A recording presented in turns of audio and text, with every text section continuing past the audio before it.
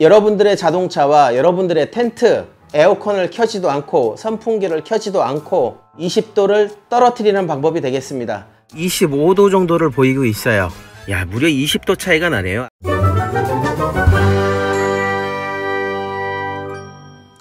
신박스. 여러분 안녕하세요. 신박함을 소개한 남자 신박 인사드립니다. 안녕하세요 자 여러분 이제 점점 여름이 되고 있습니다. 여름이 되면서 온도가 올라가면서 이제 차박을 하시거나 텐트 캠핑 하시는 분들 쪄 죽습니다. 그래서 여름에는 흔히들 말씀하시죠. 계곡으로 많이 간다고. 계곡 가면 뭐 햇빛이 안 비치나요? 계곡 가도 덥습니다. 계곡이다 산이다 바다다 다양한 곳으로 가시잖아요. 근데 제일 문제는 텐트를 쳤을 때 차박을 할 때 뜨거워지는 차안 온도와 텐트 온도를 감당할 수가 없다라는 겁니다 제가 웬만하면 이런 부탁 안 드리는데 구독, 좋아요 한 번씩 부탁드리겠습니다.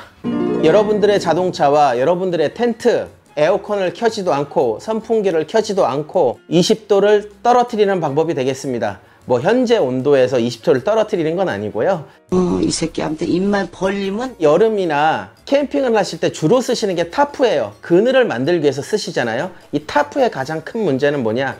단열이 안 돼요. 그늘은 된 것 같은데 여전히 더워요 단열이란 뭐냐? 열을 막아주는 거예요. 냉기도 막아주는 겁니다. 흔히 쓰시는 단열재들이 여러 가지가 있는데 우리가 쉽게 구할 수 있는 것 중에 뭐가 있을까요? 바로 은박도짜리가 있습니다. 응? 그 은박도짜리를 이용해서 여러분들의 차량과 텐트의 온도를 떨어뜨리는 방법을 알려드릴 거예요. 한여름에 텐트 치고 자고 저녁에는 어떻게 버틴다 쳐요. 아침에 해 뜨자마자 여러분들 현타 옵니다 내가 캠핑을 왜 왔을까? 더워서 푹푹 찌잖아요. 바깥의 바람은 어느 정도 좀 버틸 수는 있지만 이 텐트 안의 온도는 무시무시합니다. 흔히들 이렇게 생각하실 거예요.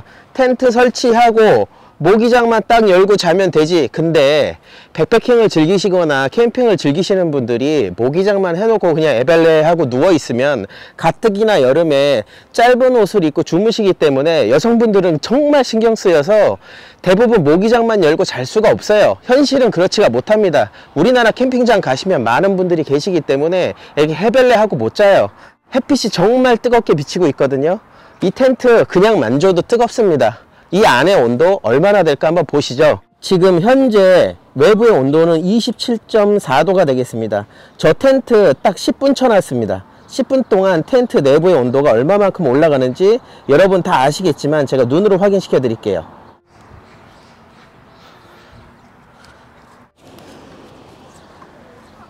자 여러분 단 몇 분 만에 32도까지 올라갑니다 제가 예상컨대 이대로 10분 더 두면 아마 35도 36도까지 쭉쭉 올라갈 거란 생각이 듭니다. 은박 돗자리가 되겠어요. 은박 돗자리이자 방수포인데요. 이 사이즈 자체가 180에 220까지 지원을 해줍니다. 그래서 혼자나 둘이서 캠핑 다니시는 분들 아 뜨거워.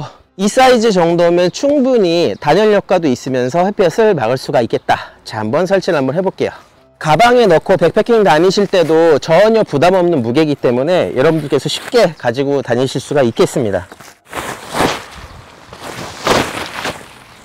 이 제품 같은 경우에는 바닥에 요 고리 형태가 되어 있습니다. 요거 같은 경우에는 타프 대용으로도 사용하실 수가 있겠어요.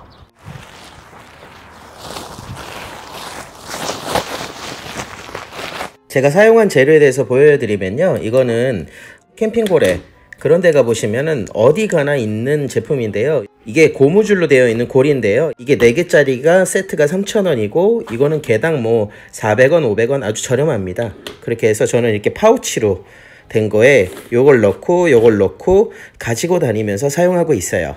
제가 준비한 건 60cm 정도 됩니다. 60cm가 좀 길다 생각하시면 아시죠? 요거를 이렇게 묶어 주셔 갖고 줄을 좀 짧게 만드시면 돼요 근데 아직 뭐 중국이나 구매댕이나 이런 사이트를 봤는데 은박 텐트는 제가 본 적이 없어요. 그래서 여러분들께서 간편하게 백패킹이나 텐트 캠핑을 하실 때 이렇게도 활용 가능하시게끔 아주 저렴한 물건입니다. 캠핑고래 같은 데 가서 구매하실 수가 있어요. 3,000원 밖에 안 합니다. 아주 싸요. 돗자리에 고리에 걸어 주시고요.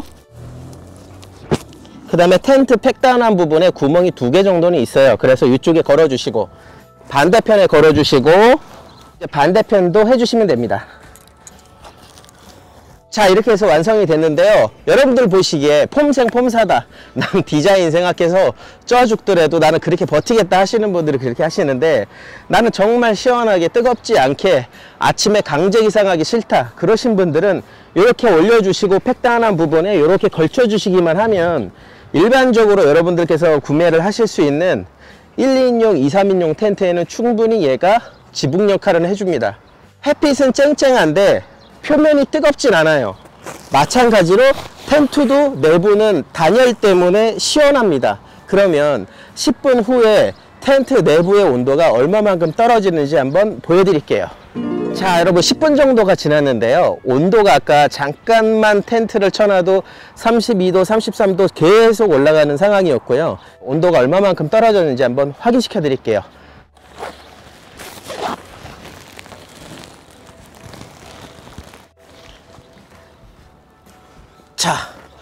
여러분 보시면 27.8도, 7도 계속 떨어지고 있습니다. 현재 바깥의 기온의 온도로 떨어지고 있고 더 떨어지네요. 자, 여러분 어떠신가요? 신박한가요? 구독과 좋아요 한 번씩 부탁드리겠습니다. 이 은박 돗자리 하나면 한여름 캠핑 뜨겁지 않게 완벽한 그늘을 만들어 드릴 겁니다. 자 SUV 같은 경우에는 이렇게. 자 이건 차박 캠퍼분들을 위한 돗자리인데요. 300에 300짜리 어마어마하게 큰 단열 돗자리가 되겠습니다. 일반 텐트용 같은 경우 백패킹 같은 경우에는 요거를 채택을 했고요. 약 500g 정도의 무게를 가지고 있는 어, 돗자리가 되겠습니다. 어, 폭이 충분해서 앞에 창문도 가리고 옆쪽으로 오시면 예 요쪽까지 차박을 위해서 뒤에 창문을 여니까요. 이쪽 부분까지 어, 카바가 됩니다. 그래서 앞부분 창문 다 막고 지붕 막고 이쪽 부분은 어, 출입을 할 수 있게끔 하시면 될 것 같아요. 그 다음에 이쪽 부분에는 이렇게 고리를 이용해서 저는 60cm인데 한 30cm 짜리 짧은 거 20cm 짜리 짧은 것만 사용하셔도 충분히 이쪽 부분에 걸 수 있을 것 같아요. SUV 같은 경우는 이렇습니다 자 일반 승용차이 같은 경우는요 반으로 접어 갖고 이렇게 좀 덮을 수가 있는데요. 어, 이렇게 보시면 밑에 부분에 고리로 이렇게 해서 지금 고정을 시켜 놨고요. 자 보시면 앞유리까지 그리고 옆으로 좀 들어갈 수 있게끔 옆 유리까지는 딱 반을 접으니까 이렇게 덮여지고요. 창문까지 덮으실 거면 반을 더 접으시면 될 것 같아요. 어, 나름대로 뭐 사이즈가 가로 사이즈가 딱 맞는 것 같아요. 자차안 내부에 들어왔는데요 아까는 여기가 되게 뜨거웠었거든요. 어, 앞쪽 부분이 되게 뜨겁다가 점점 점점 식, 식으면서 창문도 뜨겁지 않고요. 이 차 자체가 그냥 완벽한 그늘이 해결이 돼요. 햇볕이 지금 앞에서 지금 쨍쨍 내리쬐고 있어요. 자 운전석 쪽 부분은요 어, 25도 정도를 보이고 있어요. 앞에 있는 돗자리를 한번 떼어낸 다음에 금방 온도가 얼마만큼 올라가는지 한번 보여드릴게요 자 앞부분 반만 제가 제거를 했어요 돗자리를. 와. 제가 제거한 지 한 3분 정도밖에 안 됐거든요. 41도 42도. 자 여러분 보시면 야 무려 20도 차이가 나네요. 아까 25도에서 44도까지. 그러면 다시 한번 제가 돗자리를 앞유리창에 한번 덮어 볼게요. 자 덮개를 덮었고요. 온도는 쭉쭉쭉쭉 계속 떨어지고 있어요. 차량 내부 온도는 어, 약 26도 정도가 되고요. 어, 앞유리도 온도가 높던 것이 점점 점점 떨어지고 있습니다. 운전석 쪽도 어, 31도 어, 계속 떨어지네요. 완벽한 그늘이기 때문에 여러분들께서 차박하시거나 아침에 눈 뜨고 일어나셨을 때 차 안이 뜨거워져서 깨는 일은 없을 것 같습니다. 이쪽 부분은 아까 제가 젖혔던 부분이고 온도가 떨어지고 있고요. 이쪽 부분은 계속 덮어둔 곳입니다. 25도 26도를 유지하고 있습니다. 자 이쪽 유리를 찍었을 때도 약 27도 26도 정도 이 안은 되게 시원해요. 바람 불면 진짜 시원한 바람이 그대로 들어옵니다 그냥. 자 맞물린 부분은 내구성이 아주 좋다라고는 할 수는 없어요. 이쪽 부분을 청테이프라든지 이런 걸로 좀 두 번 정도 붙여서 이쪽 부분이 집게로 맞물렸을 때 이 약한 부분이 찢어지지 않게끔만 덧대 주신다고 하면은 충분히 이 정도 이 정도면 짱짱하게 예 짱짱하게 덮으실 수 있을 것 같아요. 자 여러분 보시니까 어떤가요? 저도 정말 궁금했거든요. 이게 실제 될까 여러분들께서 흔히 바닥에만 까는 돗자리를 가지고 아 머리에 뒤집어 쓰면 어떨까 라고 생각을 한번 해봤어요. 역시나 됩니다. 온도가 떨어져요. 완벽한 그늘을 만들어 드려요. 그래서 캠핑과 차박을 하실 때 이 방법을 쓰시고 자 그럼 주의사항에 대해서 말씀을 드릴게요. 주의사항은 뭐냐? 차박용으로 제가 소개를 해드렸던 돗자리는 단열이 됩니다. 되긴 되는데 내구성이 떨어져요. 모서리에 집게를 잡고 당기니까 이게 약간 불안불안합니다. 그래서 제가 제시를 해드리는 방법은 백패킹용, 텐트용으로 제가 쳤었던 고리가 달려있는 은박 돗자리 기억나시죠? 그 은박 돗자리를 두 개를 사용하셔서 차량을 반반 나눠서 그렇게 덮으시는 걸 가장 강추를 드립니다.